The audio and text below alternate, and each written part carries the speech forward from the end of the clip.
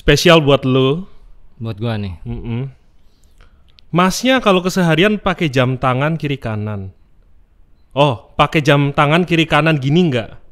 Atau cuman pas syuting review aja pakai jam kiri kanan? Um... Yo, 皆さん、お元気ですか俺はティオでしょう。Welcome back on Max Watch YouTube channel. Well, biasanya gue udah nge-review, gue udah bla bla bla bla bla bla. Kalian udah tahu kan? Nah, kali ini gue mau adain buat Q&A ya atau gue akan jawab pertanyaan-pertanyaan yang biasanya di komen-komen YouTube itu yang pertanyaan apa aja lah yang biasanya gue akan jangan jawabin. Tapi kali ini gue nggak sendirian ya. Nah kali ini gue uh, ditemenin di sini ada produser channel ini ya, namanya si Han dan kadang dia ini sekaligus jadi host juga di channel ini. Mungkin kalian udah tahu ya beberapa videonya dia kalau kalian notice. Harus notice dong. Kalian kalau subscriber nggak tahu dia. Oke. Halo, Mas Han apa kabar? Halo bro, up bro? Iya. Padahal ketemu tiap hari ya. Iya, beda lantai doang kan ya? Iya. Oke.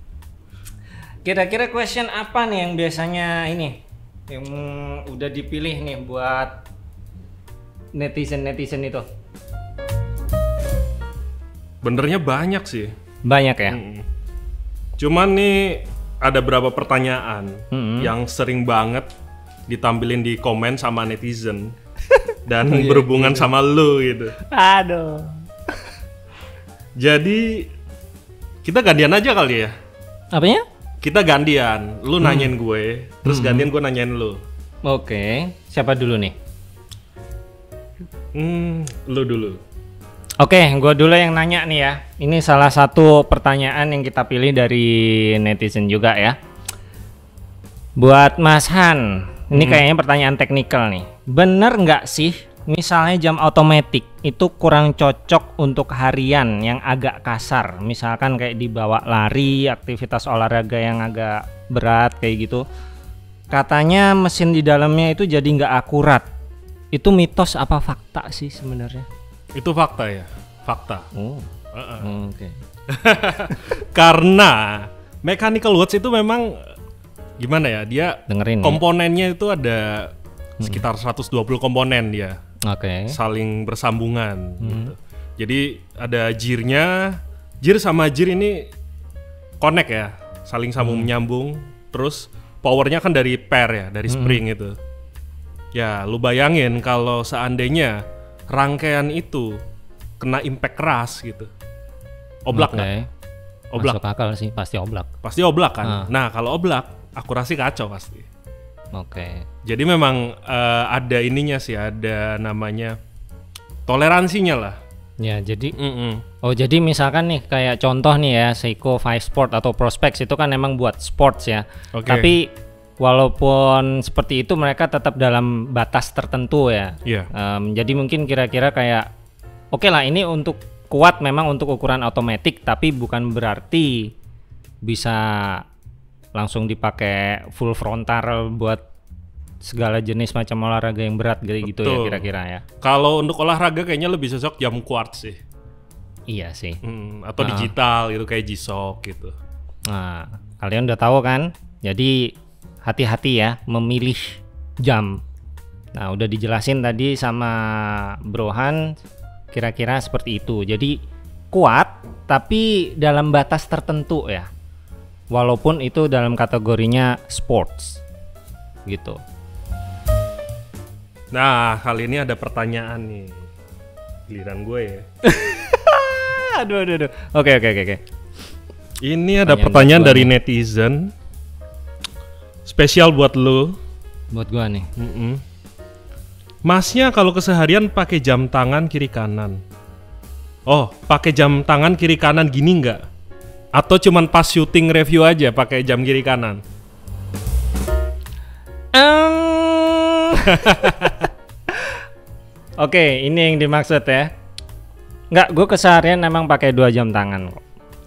Jadi gini, sebetulnya ada sedikit story sih kenapa gue pakai dua jam tangan gitu. Jadi gue dulu itu emang pakai jam emang eh, di kiri, tapi yang sebelah kanan biasanya gue pakai aksesoris, gelang dan segala macem. Cuman karena mungkin kalau gelang segala macem mungkin sekarang gue udah nggak terlalu pakai ya, dan karena terlalu ribet. Dan gue kebetulan di jam tangan tuh emang gue suka sama jam tangan ya. Jam tangan kan juga movementnya macem-macem. Ada yang quartz, quartz digital, automatic, itu pasti punya spesifikasi sendiri ya. Nah, pernah suatu saat gini, gue mikir gue lagi pengen pakai ini, tapi gue di saat yang bersamaan pengen pakai ini juga. Gue bingung, gue pilih mana. Terus akhirnya ya udah deh, gue pakai ini dulu. Cuman sebelum berangkat gue ngaca kayaknya kok ada yang kurang ya tangan kanan gue polos banget. Mau pakai gelang-gelang juga males. Akhirnya ya Alhasil terjadilah jam G-Shock gua, gue pakai di kanan dan itu udah kebiasaan sampai sekarang.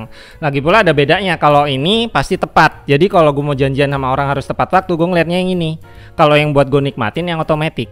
Gue seneng aja ngeliat jarum sweepnya kayak gitu ya. Akurasinya emang gak akurat, uh, akurat ini ya digital, cuman ya ya ada gunanya sih. Tapi sekaligus uh, sekaligus gue emang suka sebenarnya. Jadi ya begitu kira-kira. Jadi teman-teman, gua saksinya ngeliat si Tio tiap hari pakai jam tangan kanan kiri karena gua tiap hari ketemu dia. Dan gue pas pertama ngeliat itu gue pikir Tio ini orang Jepang. Jam satunya untuk waktu Indonesia dan jam satunya untuk waktu Jepang. Ternyata enggak. Sorry men, cuma bercanda men. Enggak apa-apa, udah biasa. Oke. Okay. Next giliran lo. Oke, okay. Giliran gua nih, kayaknya buat Bro Hans nih cocoknya buat pertanyaan teknikal lagi ya. Mm-hmm. Nih, salah satu pertanyaan netizen juga nih. Saya masih belum mudeng dengan kaliber. Kaliber itu ukuran apanya sih? Kaliber ya? Iya. Jadi kaliber itu sebenarnya dia cuman kode ya. Kode hmm. mesin sih. Jadi misalnya Seiko uh, Five Sports kaliber 4R35. Jadi lebih mm -hmm. ke penamaan kode mesin. Oke. Okay. Seperti kalau di mobil kan juga uh, mesin mobil itu ada kode-kodenya kan. Mm -hmm. gitu. Jadi istilahnya istilah kode mesin itu kaliber. Gitu. Nah itu ya. Jadi sebetulnya kaliber itu bukan ukuran atau size ya, tapi lebih ke movementnya. Misalkan spesifikasi movementnya, misalkan contoh tadi Seiko 4R itu mungkin ada spesifikasinya kayak power reserve-nya mungkin berapa lama, punya fiturnya apa. Nah, begitu juga dengan kaliber yang lain itu pasti beda, mungkin itu movementnya beda juga. Jadi lebih ke penamaan jenis movement ya kaliber itu jadi bukan size. Jadi kira-kira begitu ya, Bro Hans ya. Betul. Oke. Okay. Nah, kali ini pertanyaannya tentang lu lagi. Pokoknya pertanyaan dari netizen yang tentang lu, itu gue yang nanya. Deal? Oke oke. Oke, deal. Oke, okay, well, well, well. Banyak yang nanya. Kenapa? Mas Tio suka bilang, well, well, well. well, inilah jawabannya netizen. Kayak gue nggak nyadar deh kalau ngomong kayak gitu ya. Kayak mungkin gue maksudnya mungkin kayak here here here well well well nah kayak gini itu just kadang mungkin kalau gue nggak ngelihat rekaman gue ulang di YouTube ya kayak gue emang ngomong kayak gitu ya jadi kayak spontan aja sih sebenarnya. Ternyata pas gue ngeliat uh, tayangan gue di YouTube tuh kayak hah gue ngomong kayak gini ya? By the way lu ngerasa agak aneh gak sih pas lu ngeliat lu ngomong gitu di YouTube gitu? Oh, aneh sih mungkin enggak ya. Enggak cuman ya? gue cuman nggak nyangka aja gue ngapain tadi ngomong kayak gitu. It, just, it just happen it just like that happen like that gue ngomong apa kadang uh, pas gue lihat tayangan kayak ah gue tadi emang ngomong ini ya kayaknya enggak sih gitu tapi ya uh, ya whatever kayaknya nggak apa-apa juga sih uh -uh. not a crime juga kan Ya kalau menurut gue sih it's okay sih. Itu jadi ciri khas lo, ya kan. jadi kalian boleh manggil Mas Tio kalau ketemu di jalan. Halo Mas, well well well gitu. Oke bro, giliran lo. Oke. Oke, nah ini kayaknya pertanyaan yang gue pilih lagi ya. Ini sebenarnya ada beberapa, tapi mungkin pilih. Ada netizen yang nanya nih, nih buat kalian ya yang biasanya sering nanya atau mungkin belum tahu ya. Mau nanya Gan, jam yang dijual di Smartwatch itu brand new apa second ya? Kalau jawabannya, semua jam tangan yang dijual oleh Smartwatch itu semua new, brand new in box. Tidak ada yang second sama sekali. Nah, udah tahu kan? Masih new dan bergaransi ya, Ya, Mas betul. Anda? Pasti ada garansinya ya, dan garansi bisa dicek di spesifikasi SKU jamnya masing-masing ya, kayak gitu. Oke, balik lagi ke gue dan kali ini gue nemu lagi pertanyaan tentang lo dan ini mungkin pertanyaan sejuta umat.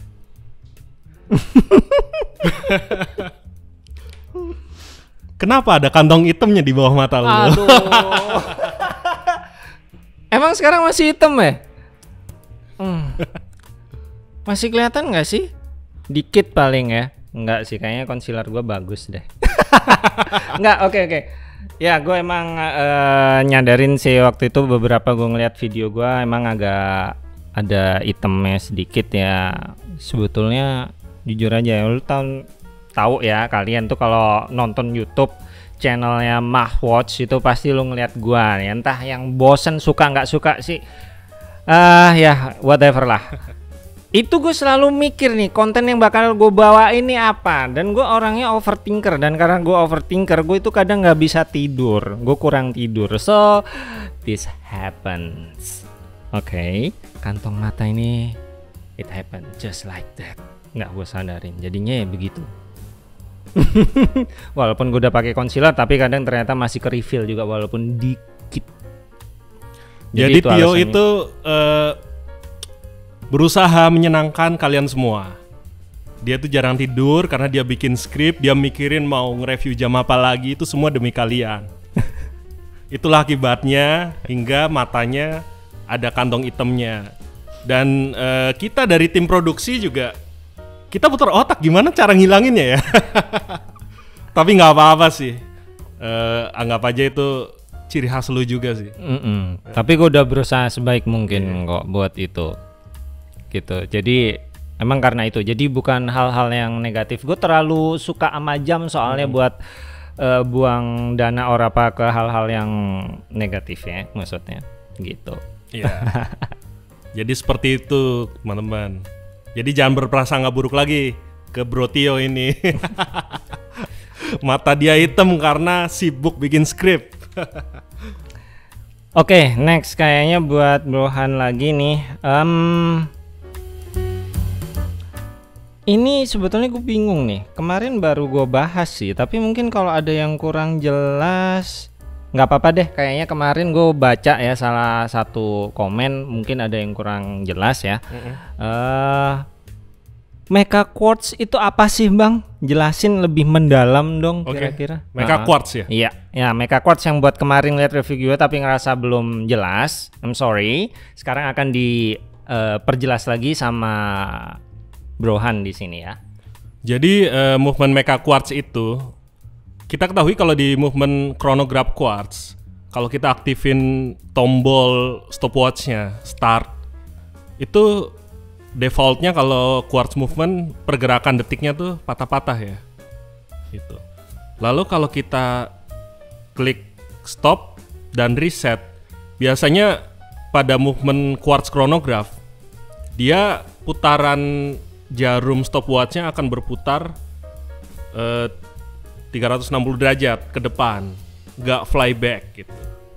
Nah pada movement Mecha Quartz, ketika kita klik start, putaran jarum stopwatchnya dia sweep ya seperti mechanical, dan ketika kita stop lalu kita restart, kita klik restart, dia kembalinya juga seperti mechanical chronograph, flyback ke belakang, pek gitu. Ah, Ya. ya kira udah jelas ya. Jadi itu sebetulnya mecha quartz itu jamnya tetap quartz tapi dalam fitur kronografnya itu menggunakan eh, apa ya?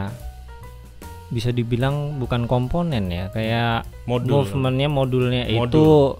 kayak mechanical. Jadi biar si pengguna itu ngerasain gimana sih eh, punya jam quartz tapi tetap ada rasa mekaniknya atau mekanya seperti itu. Jadi itu istilah yang dibuat sama Seiko namanya mecha quartz. Betul. Jadi kurang lebih kira-kira seperti itu. Simple sih tapi punya julukan kayak gitu. Mecha quartz jadinya.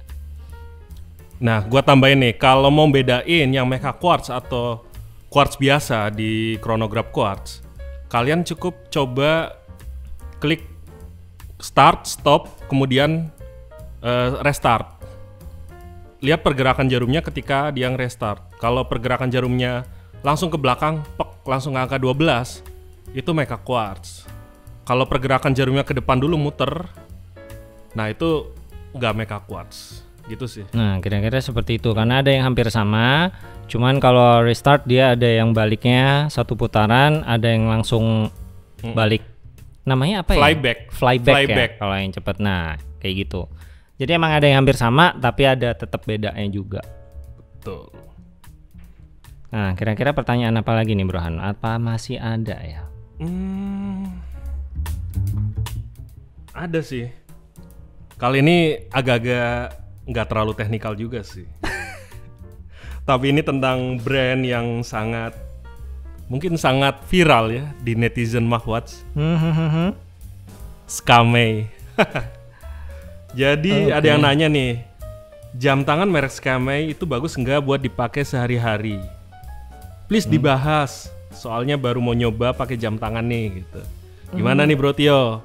Kapan nge-review Skame? Ah iya, gue sampai kelewat pengen review itu. Eh Skame ya, kalau misalkan kalian iseng nih, ke- eh, kan Skame kita tahu sendiri ya. Kalau kalian lihat di web itu harganya bener-bener murce hore lah. Mungkin nama celana yang kalian pakai sama baju kalian pakai masih lebih mahalan itu ya dibanding Skame. Ya kalau misalkan kalian nggak punya jam nih, pengen ngerasain punya jam, tapi masih males banget ngeluarin budget berlebih misalkan, nggak apa-apa kok. Skame itu sebetulnya bukan brand yang jelek juga walaupun murah. Tapi ya gue nggak bilang terlalu over bagus juga ya. Ya ibarat kata kalau orang bilang ada harga ada rupa sih. Tapi gue nggak bilang jam jelek atau gimana. Jadi kalian sah-sah aja kok pakai. Eh, sehari-hari juga oke. Dia tetap water resistant tapi dalam batas tertentu ya. Ingat karena walaupun modelnya sport kadang ada yang mirip dengan merek udah terkenal yang mungkin kalian udah tahu ya apa yang gue sebut tetap aja beda kayak gitu. Tapi it's okay. Nggak masalah kok beli SkyMay kayak gitu. Dan ini kita masukin ini juga karena banyak yang permintaan netizen juga sih sebenarnya. Permintaan pelanggan kapan ada ini ada nggak akhirnya kita kesempatan bisa masukin so that is for you guys. So it's okay nggak ada masalah kok buat punya SkyMay. Mungkin dari kalian punya SkyMay nanti tiba-tiba kepikiran nanggung ya gue beli yang segini kayaknya nambah dikit udah bisa dapat yang ini itu nggak apa-apa juga. So it's okay. Bisa kok buat daily beater sehari-hari fine. Dan gue tambahin, daripada kalian beli jam KW atau replika, lebih terhormat kalian beli Skame. Karena Iya. itu pasti ori. Iya, Apalagi yang belinya di Mahwatch, bener kan? Iya, kadang kalian mungkin ada yang berpikir gue mending beli KW aja deh gini-gini. Eh, jangan, jangan. Gue nggak saranin itu sama sekali. Kalau kalian beli KW cuman buat perbandingan, fine. Buat edukasi, fine. Tapi buat kalian pakai, nggak deh. Karena itu biarpun semurah-murahnya KW or something, tetap itu kalian ngeluarin dana. Jadi daripada kalian ngeluarin dana buat KW, gue saranin mending dengan dana itu kalian cari yang original yang sesuai dengan budget itu apa kayak gitu. Atau mending dikumpulin dulu nanti dapat original itu lebih puas sih dapatnya daripada kalian punya KW kayak gitu mungkin jam monol masih lebih oke ya daripada KW gue bilang ya walaupun harganya mungkin di bawah 100 ribu or something tapi itu sih saran dari gua ya yang penting harus ori ya pasti ori itu slogan hashtagnya Max Watch ya kalian pasti udah tahu Berbanggalah buat yang pakai Skame. iya, the best. Gue juga punya sih Skame walaupun jarang gue punya, eh, gue pakai ya. Tapi oke okay kok itu buat daily beater. Ada lagi kira-kira yang udah kita pilih? Kayaknya kayaknya udah habis deh. Udah habis ya? Mm-mm. Oke. Udah habis nanti kalau oh ya di channel ini kalau kalian ada pertanyaan yang ngerasa belum dijawab kalian boleh komen ya. Terus buat yang eh, udah-udah atau mungkin yang udah tayang kemarin gue sempet ngasih giveaway itu kalian kalau mau udah pasti tahu kan caranya kemarin pokoknya subscribe ya. Itu yang utamanya. Ska, walaupun gue ngasih pertanyaan segala macam kita utamain buat subscriber ya. Dan kita juga tahu mana yang udah subscribe atau yang belum. Jadi gue ingetin ya. Terus di yang itu tadi gue ingetin kalau seandainya ada pertanyaan yang kurang atau ngerasa belum dijawab kalian boleh tulis ulang di komen. Mungkin buat eh, next Q&A kita akan bahas itu ya makasih ya Eh, anyway buat kalian yang udah kasih pertanyaan. Gue seneng sih pertanyaan kayak gitu walaupun pertanyaannya nyeleneh tapi itu menarik banget sih buat gue walaupun kadang pertanyaannya atau komennya nggak enak gue bacanya ambil senyum senyum aja sih. Kayak ini kocak banget ya ada yang komen kayak gini. Gitu. Tapi nggak apa-apa sih gue seneng kok. Itu yang namanya varian ya jadi biar asik. Nanti kita bahas buat next time. Gue tersanjung juga sih dikit ya So, kira-kira begitu ya, Brohan. Thank you. thank you bro. Ah, ah, mungkin kita bisa bincang-bincang lagi next time. Thank you buat kalian semua. See you on the next video. Bye.